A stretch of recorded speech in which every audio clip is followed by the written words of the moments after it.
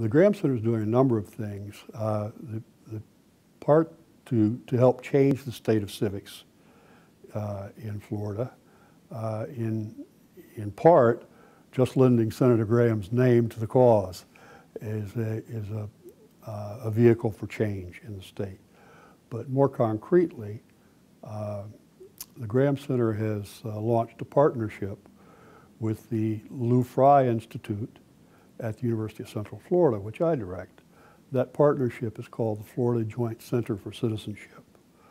Uh, the Joint Center uh, has uh, made a commitment to teacher training uh, and finding the resources to make that happen. It's also made a commitment to trying to measure where the state is going in civics.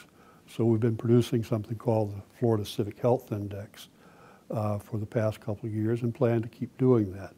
So we're measuring, we're working directly with teachers, and we hope very soon to be working directly with students in helping them to develop the competencies that they need to be effective citizens in their communities here in Florida. Uh, Florida Civic Health uh, is among the worst in the nation. Uh, there, there, there's no other way to say it. Uh, we, we've worked uh, with the uh, National Conference on Citizenship uh, to develop a civic health index for the state. it measures the extent to which people volunteer. what we find is that compared to all the other states in the nation, Florida ranks 49th in the rate of people just volunteering their time in their communities. We looked at voting. Florida ranks 32nd in voting. We looked at uh, uh, the extent to which people have worked with others in their communities to help solve community problems.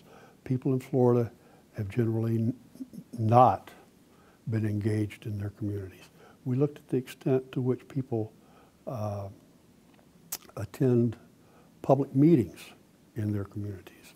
And we find that Florida ranks 47th or 48th among the states in uh, the extent to which they, they're, they're engaged in, in public issues in, in their communities. Um, when we aggregate all that, add it all up, and compare uh, a consistent index across the states, we find that Florida sits about 46th. Uh, what you need to understand about that is that, that what that really says is that Florida's communities, people are not very engaged in their communities.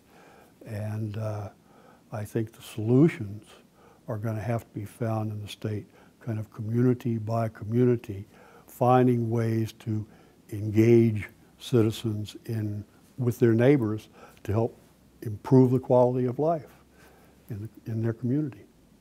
A number of people have argued that uh, the extent to which we have a transient population in Florida, rapid population growth, so people are coming from a variety of other regions, uh, is responsible for the weakness of our civic health.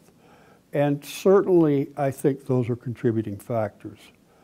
But at its core, I, I fear that the, the condition of our civic health is a function of our historic underinvestment in education in Florida. Uh, if we compare ourselves to a state that ranks at the top, for example, Minnesota, one of the big differences we see is that there's been enormous investment in ensuring that we have an educated population in the state, much larger investment per pupil uh, in uh, uh, uh education, uh, a larger investment in, in higher education.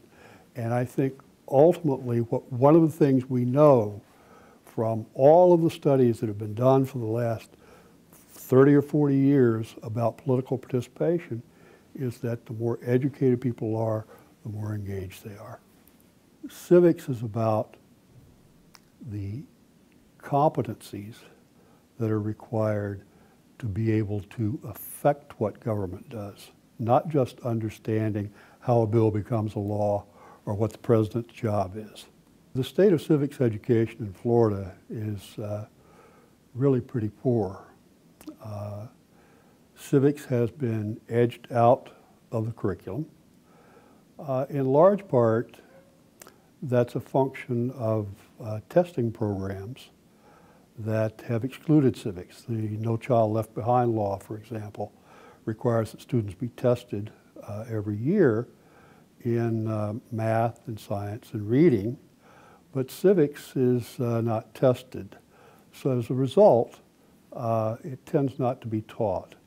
Uh, in fact, we did a, uh, a, survey not long ago and found that on the average across the state, elementary teachers spend about uh, 10 minutes a day on civics. And what that really means is that in some schools it doesn't get taught at all, or certainly doesn't get taught until after FCAT, which is Florida's assessment uh, tool, which also doesn't test civics, by the way.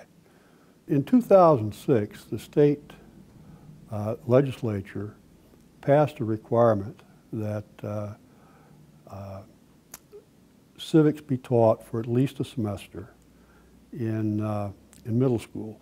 That's really been a great step forward uh, for civics education in the state. Uh, the difficulty is that it's one of those unf unfunded mandates we hear a lot about.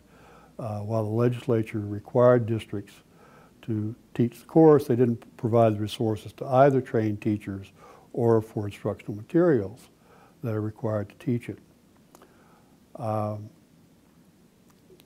in addition to the, uh, the legislation, in December 2008, uh, Florida Sunshine State standards in civics were rewritten and a new set of standards were adopted.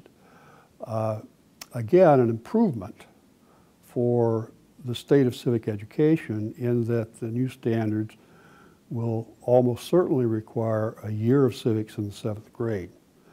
Uh, but once again, it's, uh, it's an unfunded mandate in many respects because the, uh, th there really are no civics teachers in the state except in a few places like Dade County where they've been teaching civics for a long, long time. Uh, so teachers need training uh, to be able to, uh, to teach civics in seventh grade. The resources simply haven't been there to make that happen.